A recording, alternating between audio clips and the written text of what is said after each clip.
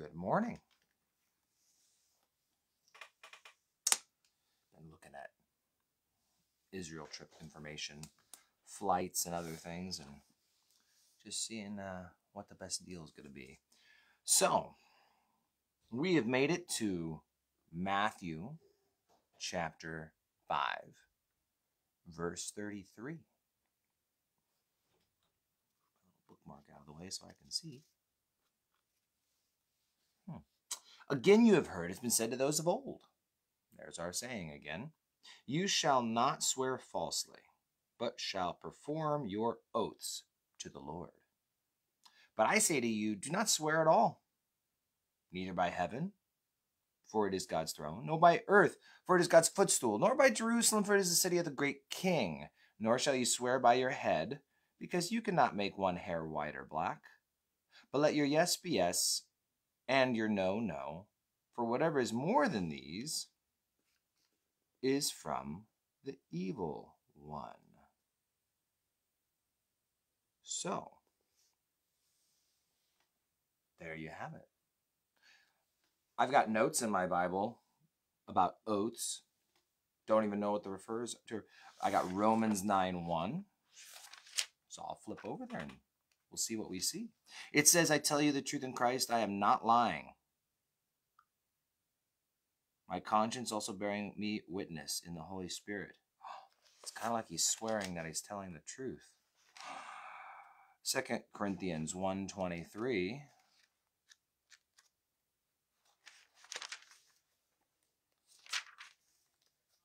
it says, Moreover, I call God as witness against my soul, that to spare you I came no more to Corinth. I swear God is my witness. Paul obviously never read the Sermon on the Mount.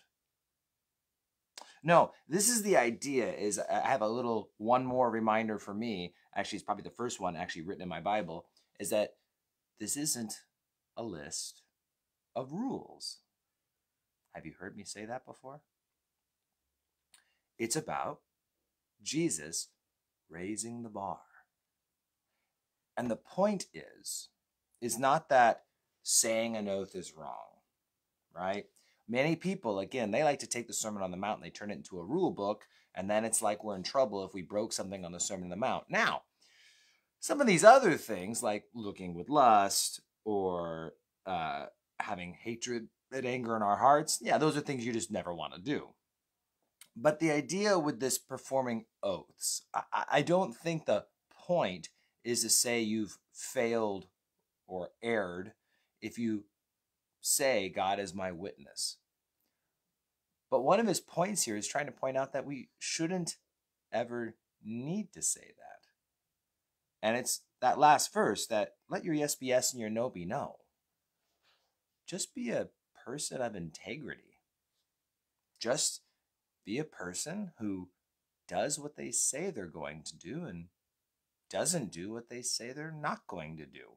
You don't need to swear up and and say all these things and and he gives all these examples, right? He he talks about swearing by heaven. Well, he's like, well, that's God's throne. That's not for you to swear by.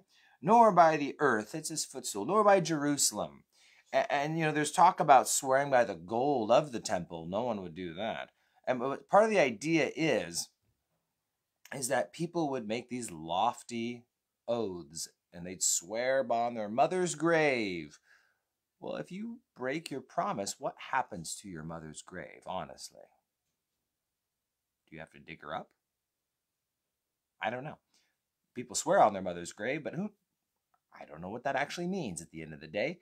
And but that's the point is that people use all these superfluous words, you know, big things to try and show how serious they are. But you know, if it was just a serious person, you wouldn't have to have them say all that stuff, would you?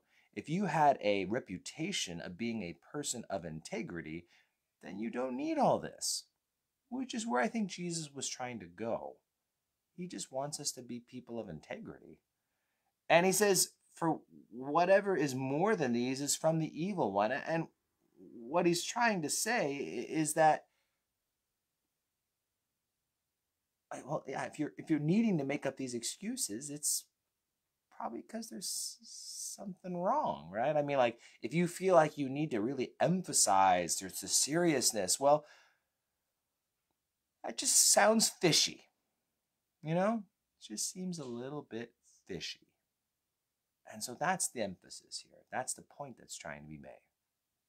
Is that we shouldn't need to swear by this or swear by that or pinky promise. And there's nothing wrong with a pinky promise. Kind of cute if you're a toddler or a kid. But for us grown ups, just be a man of your word or a woman of your word. If you say you're going to be somewhere, go.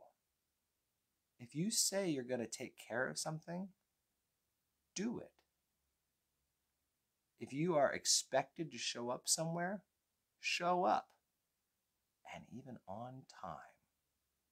So, that's the whole emphasis is, is in these three verses, four verses, five, one, two, three, four, five verses, Jesus is trying to just encourage integrity in the Christian, making us realize that, yeah, the bar is up here. If we say things, we're going to do them because we're Christians. And we're going to fall short and fail like we do at all these other things he's talked about. But on the whole, this is the bar. This is what we're aiming for. This is what we know is acceptable in the sight of our Lord. So, kind of short and sweet today. We'll get into the next section tomorrow. So, there you go, Christian. Be a man or woman of integrity. Let your yes be yes, and let your no be no. And let there be no need for anything beyond that. That's what I've got for you this morning. Hope to see some of you guys at prayer. I'll be there. Adios.